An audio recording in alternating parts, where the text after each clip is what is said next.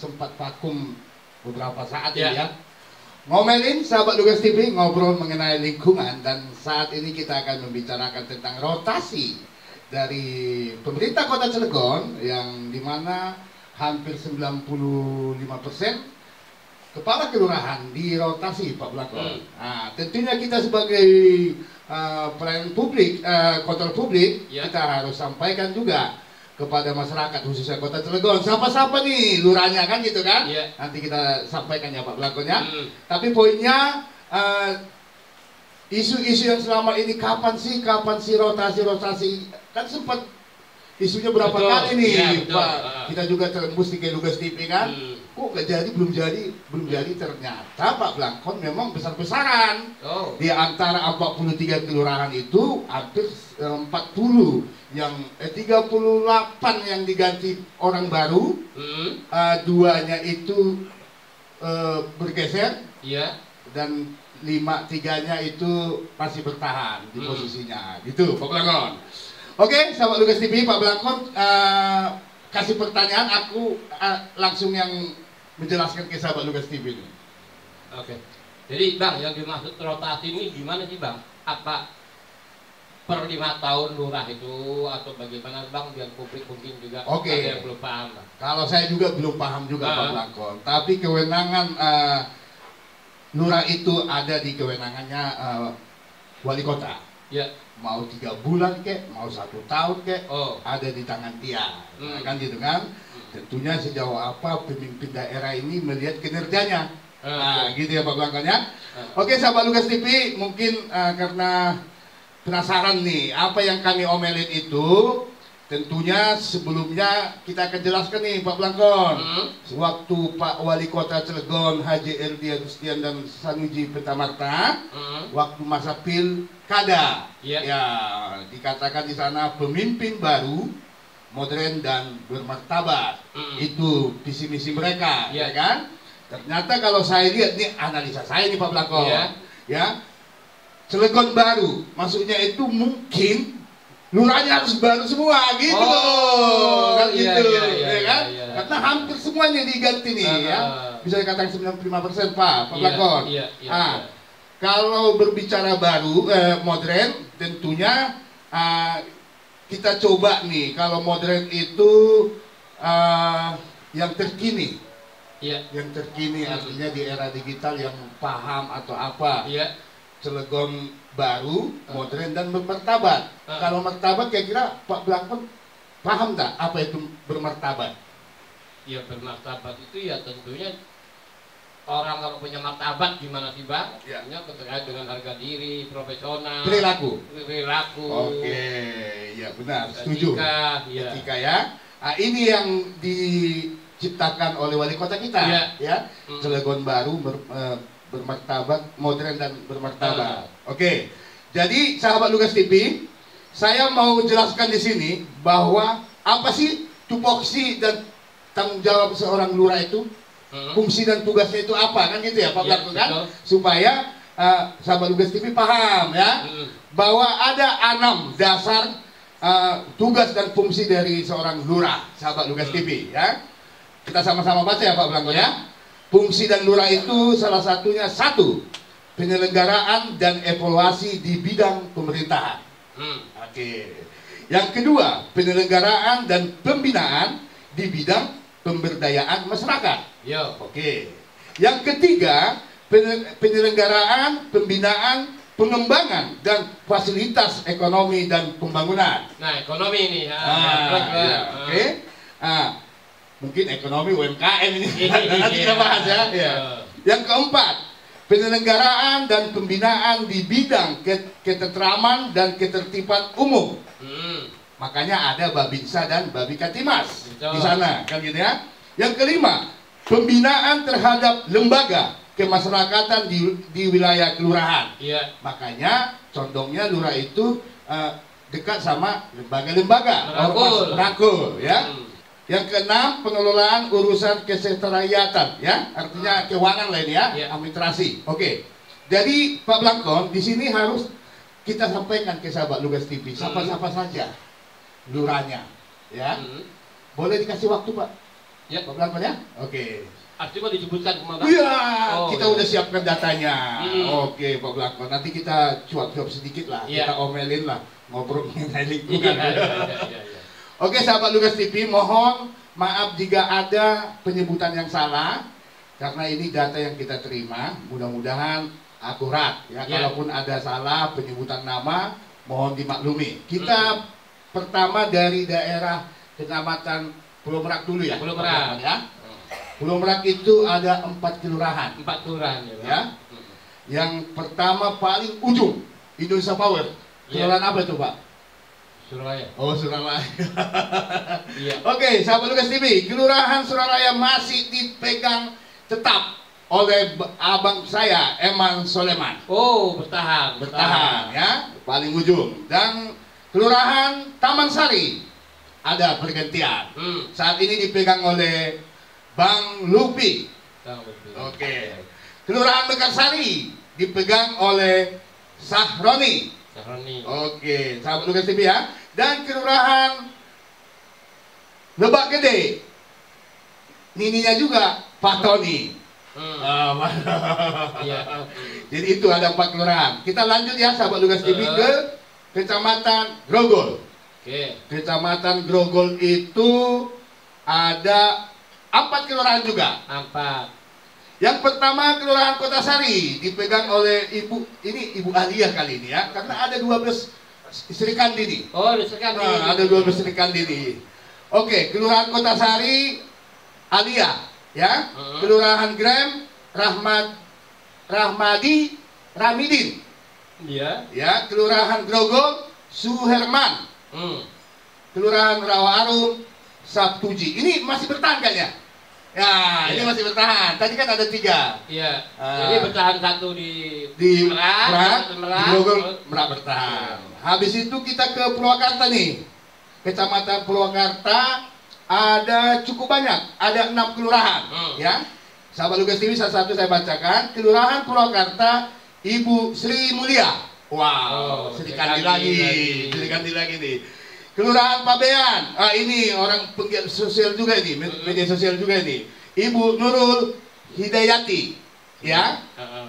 ya, sering disebut eh, Nurul Penengah atau apalah itu. Iya, Ah, Pak Pelanggon. Kelurahan Tegal Bundar, Muhtadi. Hmm. Ini bertahan. Bertahan. Bukan ya? Oh iya, ini ganti nih Pak Pelanggon. Ganti. Iya, oke. Kelurahan Kebun Dalam, Deni Sumantri. Iya. Ah.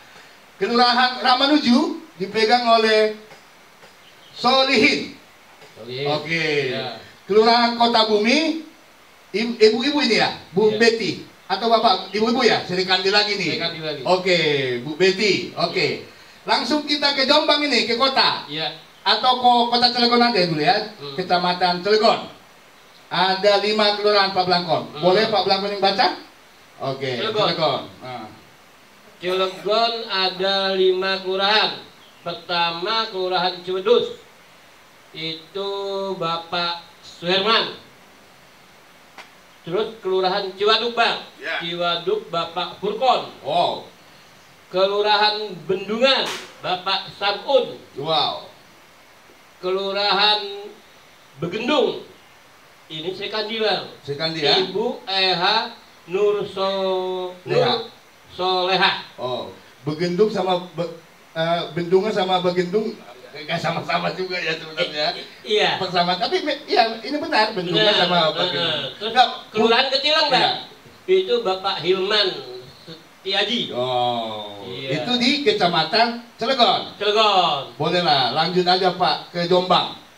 Jombang. Nah, Ada berapa kelurahan? Ada enam. ada lima bang. Oh lima. Lima. Jombang, Jombang itu kelurahan Jombang Wetan. Iya, Itu Sri Kandi bang. Serikandi. Ibu Nurul Janah. Oh, Terus kelurahan Gedung Dalam.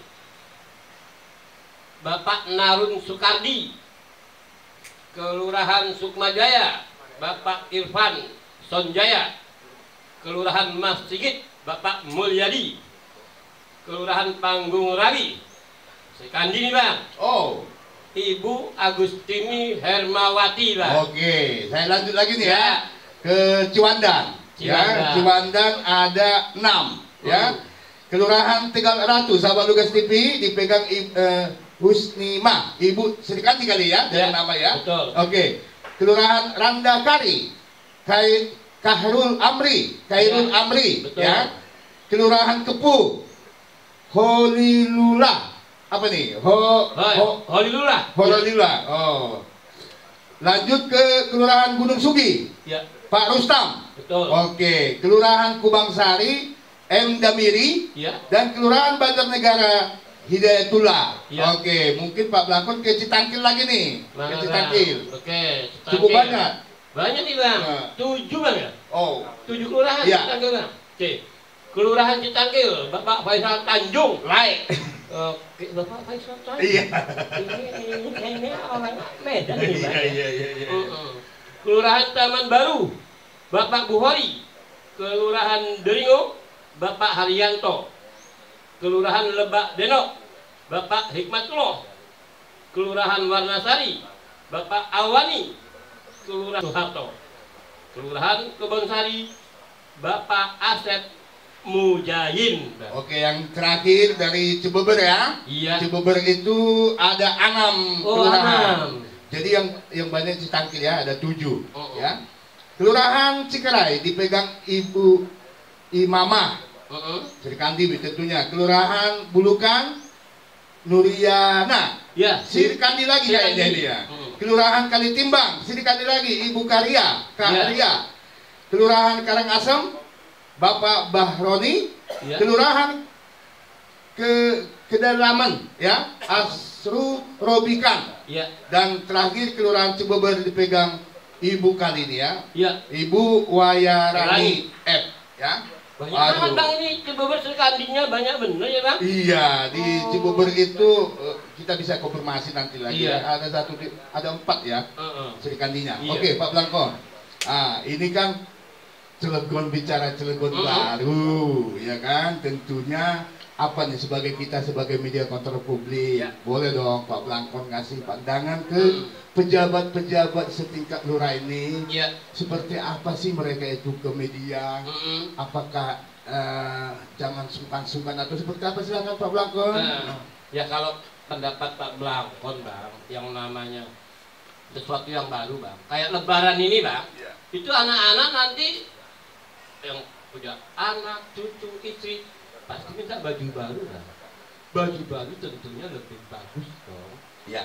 Logikanya dari yang lama lebih baik, bukan yang lama itu jelek, yang Ya. lama sudah baik, ini lebih baik. Oke. Kan begitu logika baru bang. boleh ditawarin ke lurah semua supaya merapat ke Lugas TV untuk menyampaikan program-programnya gitu loh Pak. Eh, iya bang, Ya. saya rasa begini, sesuatu lokasi, saya rasa perlu lah namanya Bapak Lurah itu adalah pemimpin presiden di tingkat kelurahan loh bang. Iya. Paling tidak kepada publik harus mengenalkan diri lo. Jangan nanti udah jadi lurah berjalan setahun ada Warga belum nggak- kenal, lagi manggil lurah yang lama katanya. Iya. Ini pentingnya publikasi. Iya, oke. Ah, siapa tahu nanti bisa juga bang dengan tugas TV untuk mereka uh, publikasikan Iya. kenalkan diri dulu aku sudah menggantikan lurah yang lama. Oke, sahabat Lugas TV seperti kata Pak Blangkon, khususnya kepada para lurah, ibu lurah, ibu Sri Kandi yang ada 12 kalau nggak salah. eh, kita sebagai media, Mm-mm. ya baik dengan media-media yang ada di kota. Cilegon tentunya berharap nih kepada pejabat setingkat kelurahan ini Mm-mm. Ah, bahasa kita Pak Blangkon jangan alergi lah sama media Iya. kira gitu Betul. melalui ini karena ada di dalam Undang-Undang Nomor 25 Tahun Hmm. 2009 Betul. tentang pelayanan publik ya Iya. tentunya masyarakat butuh dong Mm-mm. informasi apa yang ada di kelurahan tersebut Betul. ya oleh sebab itu kita terbuka nih kepada Betul. para pejabat kelurahan yang sudah dilantik Jumat yang lalu Betul. Lakon oleh wali kota dan wakil wali kota Mm-mm. di gedung Kominfo tentunya berharap semua masyarakat kota Cilegon Mm. yang ada di 43 kelurahan Betul. tentunya paham apa itu program-program daripada kelurahan Betul. Ya, seperti tadi yang kita sampaikan, ada enam fungsi dan tugas Iya. daripada kelurahan. Salah satunya ekonomi tadi. Ekonomi, Pak. Ekonomi itu apa yang kita sudah eh, sampaikan di Lugas TV tentang UMKM. Betul. Tentunya dong, Pak Lurah tahu dong di, di lingkungannya itu UMKM-nya apa saja, Betul. ya kan? Apa yang bisa diberi eh, masukan kan kira gitu ya Pak Blangkon ya? Iya. Oke. Saya rasa ada tambahan Pak Blang biar kita tutup Ah. karena kita mau ada acara UMKM. Iya, dan justru itu bang, kita kan sebulan full ini lagi liput tentang UMKM. Nah ini ada lurah baru nih UMKM ini. Nah nanti andaikan dia sambil memperkenalkan diri bang, tentunya bagaimana dia menyambut dengan program pemerintah Cilegon ini tentang UMKM tadi bang. Ke depannya begitu bang. Oke, sahabat Lugas TV saya menambahin daripada apa yang kata Pak Blangkon. Ya. Ini acara program kita ngomelin, ngobrol mengenai lingkungan, yaitu tentang eh, rotasi daripada eh, tingkat eh, lurah. Publik bisa mengata-ngata, Iya, publik bisa men- eh, berbicara, ya Ya. kan? Kok bisa sih yang dari dinas ke menjadi lurah Eh. itu sah-sah saja Ya. bagi saya Pak Blangkon. betul. Tapi kita lihat dulu, Ya. kita lihat dulu pejabat lurah yang sudah di- dipercayakan amanah oleh Bapak Waki- Wali Kota dan Uh-huh. Wakil Wali Kota, kita lihat dulu kinerjanya. Betul. Nanti ketika kinerjanya kurang baik, Hmm. kita sebagai media kontrol publik tentunya bisa mengkritisi Pak Blanko. Iya. Iya itu. Oleh sebab itu kepada eh, Lurah, Bapak Lurah dan Ibu Lurah yang ada sekota Cilegon, silakan mengkonfirmasi ke kita jika ada mau disampaikan program-programnya dan mungkin kita bisa undang suatu saat ya Pak Blanko ya untuk bincang-bincang di Lugas TV. Demikian sahabat eh, Lugas TV acara ngomelin pada sore hari ini tentang rotasi lurah kota Cilegon dan mudah-mudahan mereka berjalan dan bekerja bekerja untuk kepentingan masyarakat. Iya. Silakan penutup. Oke, ya sahabat Buka TV, di mana pun anda berada, sudah kita dengar perbincangan dengan Bang Madia Sinaga. Uh, mungkin Pak Pelakon hanya mengakhiri dari sini. Rotasi, perputaran dalam pemerintahan, mungkin itu hal yang biasa. Bukankah jarum jam dinding harus berputar? Justru kalau dia berani bermasalah. Sampai jumpa di sesi.